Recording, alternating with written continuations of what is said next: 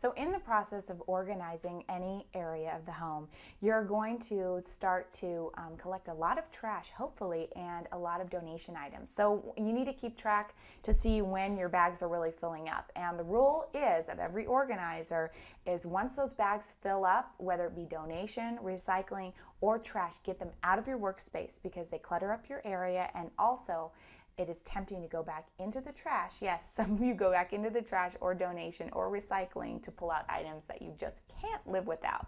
So let's remember that once it's in the bag, it goes out of the area. So let's do that now.